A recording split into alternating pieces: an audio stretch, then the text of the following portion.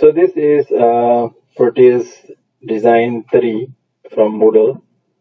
So what we're going to do is, this is already connected to port D. So we're going to try to make LED blinking using the time delay.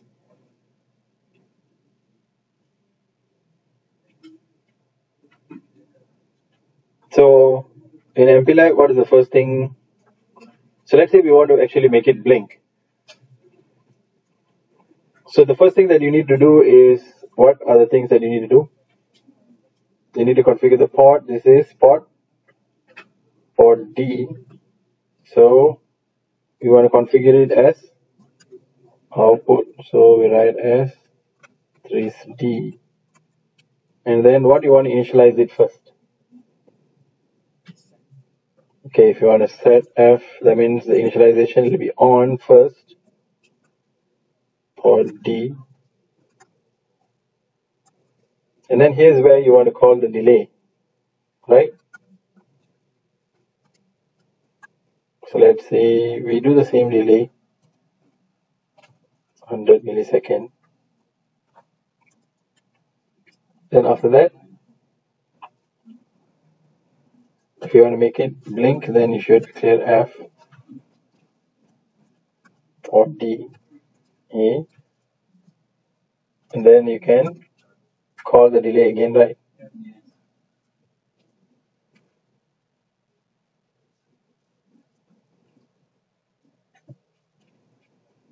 and here only you have branch you can have repeat and where should the repeat go set f. So I'm just doing this so I can give you an idea. So here the main program itself is a continuous loop, looping. So you don't have to write the NOP branch NOP. So here is where you have your delay 100 millisecond. So you are going to move the literal value hex 83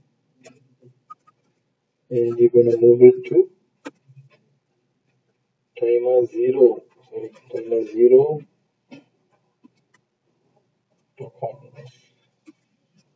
and then we're going to move what is the value that we have just now? AF we're going to move it to this is timer 0 low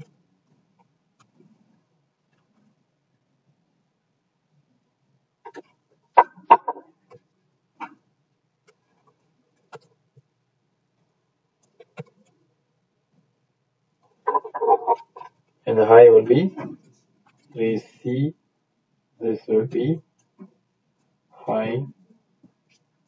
And then what you will be doing? Bit clear. This is in in con timer 0 RF flag. Then bit test for just skip if set So you are going to check whether this timer 0 flag is it 1 or not. So if it's not 1 then you branch uh, we wait.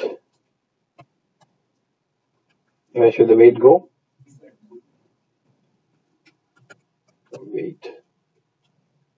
And once it's done it will return so this is the main program this is where you have your timer delay sub routine. Is that okay? Any question up to this point? So let's try to build this.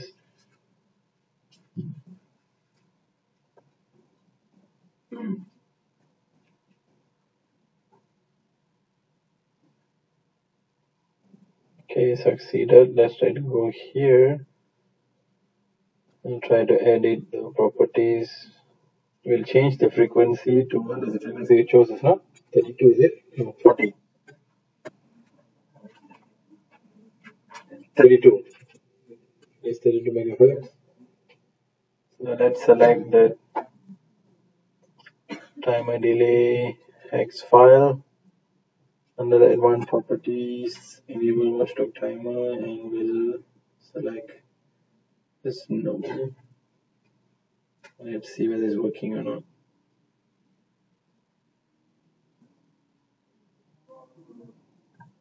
So it's blinking. So if you want it to blink longer then what you do? You can use that product L multiplication. Is that okay so I had fun with the simulation.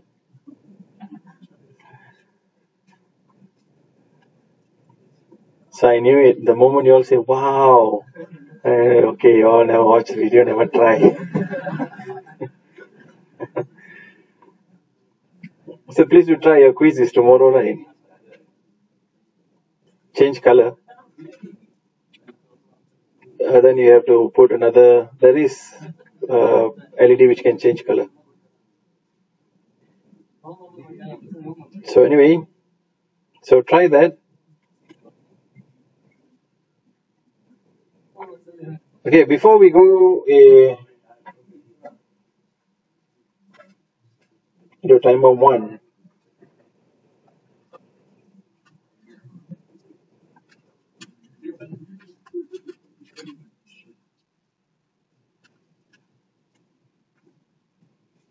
before we go to the application, why I just showed that is I will share that as well, that code. But why I showed you so that you understand where it's the same subroutine like how we did earlier, just that the content of the subroutine is the, the delay configuration, the timer configuration. So before we proceed in seeing how we can actually use uh, timer 0 as interrupt application, let's very quickly look into timer 1 now take note that timer 1 is also same like timer 0. We can also configure as 6 bit or 8 bit.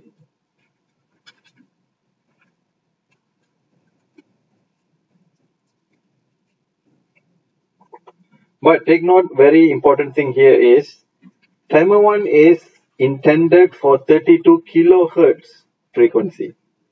Very low. Anything in the range of megahertz, you can use timer 0 or timer 3. But timer 1 is intended for 32 kilohertz, kilo, not mega. So if you want, if you're having a frequency oscillation of 32 megahertz and if you're trying to use timer 1, you can never use timer 1. The calculation will not fit in. So for example, the same thing. Create a subroutine for time delay of 100 millisecond but given frequency oscillation is 32 kilohertz. So whenever you see 32 kilohertz, you can actually use timer 1. So the same formula only we use, but take note here for the prescaler for timer 1, that is this TCON, timer 1 condition register. But if you notice here, the prescale values are only from 1, 2, 4, 8. So you don't have much of a choice for prescale value. So you want to for 8. So in this case, let's say if you use 8, which is the maximum, you will get number of clock cycle is 100. And because 100 is the only clock cycle value that you need, do you need to use it as 16 bit? 8 bit is sufficient already, right? Because 8 bit can go from 0 until 255. So you should also find the starting value, right? So 255 minus 100. So here is 100. So you get this is the starting value. So the same thing you follow, but let's see the configuration of TCON register.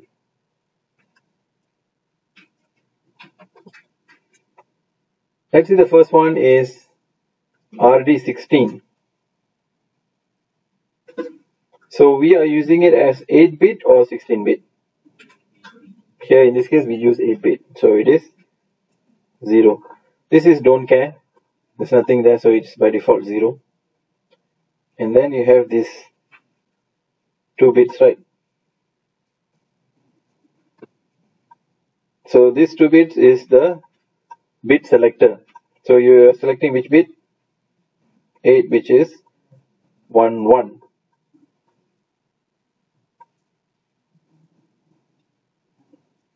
are you following?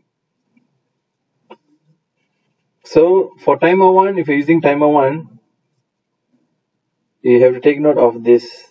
And memorize this uh, the sequence of the prescale value 0 0 0 1 1 0 1 1 which is 1 2 4 8 and then you see timer 1 oscillator enable bit. So we are using as timer so we are enabling the timer on oscillation bit. So it should be 1 now and then you have this timer 1 sync and timer 1 clock source. Now this timer 1 sync depends on, you see this timer 1 clock source? So if you look at timer 1 clock source select bit, this one is instruction cycle clock, you're using it as timer. External clock, you're using it as counter. So you're using it as a timer or counter? Timer. So this is 0. Now because this is, we are using it as a timer, the synchronization select bit, when it is 0, do you see that this bit is ignored? Becomes don't care because the uh, the synchronization depends on the external clock if you're using it as a uh, counter. So this one also will become 0 and lastly is timer 1 on is you want to enable it so this will become 1 so for timer 1 this is always fixed. The front part only. Usually this one also most likely will be 0 0 only this two number you need to find out. So the last here what you get? The entire thing. Hex 3 39 so and therefore you load hex 39 into timer 1 condition register. And the same thing you load the starting value into timer 1 low. And here the same concept also. We want to clear the timer 1 flag. But timer 1 doesn't belong in the core group interrupt interrupt sources right? So it will be in PIR. So therefore it is in PIR 1. So you have to clear and then the same thing you bit test you check whether when it becomes 1. And until it becomes 1 you wait. So when it becomes 1 return. So same, same structure of interrupt 0. Any question at this point?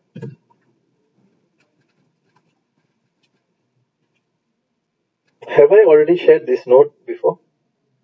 Timer? In Telegram? Okay.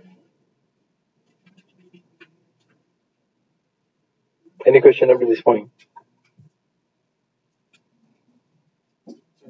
Yes. Still don't understand how we got high hex 39.